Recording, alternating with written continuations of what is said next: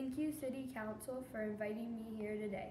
My name is Aubrey Aaron, and I'm here to educate you on flash floods. Flash floods occur very quickly when a tremendous amount of rain falls in a sh- short period of time. This forms rivers and with huge currents. When flash floods go down mountains, they damage the houses near the bottom and block roads too. If the flood water rises too high or the current gets too strong, people could die, livestock could get killed, people could get diseases, crops could get damaged, and more.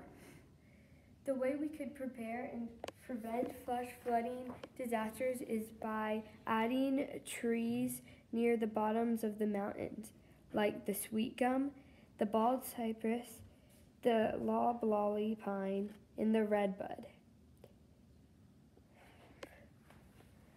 The Roanoke Emergency Department could develop a warning system on TV and radios if a flash flood was about to occur.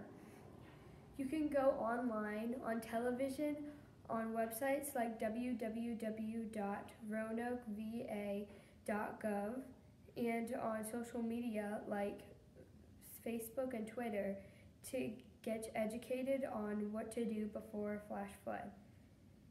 After a flash flood occurs, the damage has already been done, so there's nothing much to do but fix things and warn people not to go in the sitting water to help prevent waterborne illnesses. Natural disasters like flash floods cannot be 100% prevented, but they can be educated on. Thank you.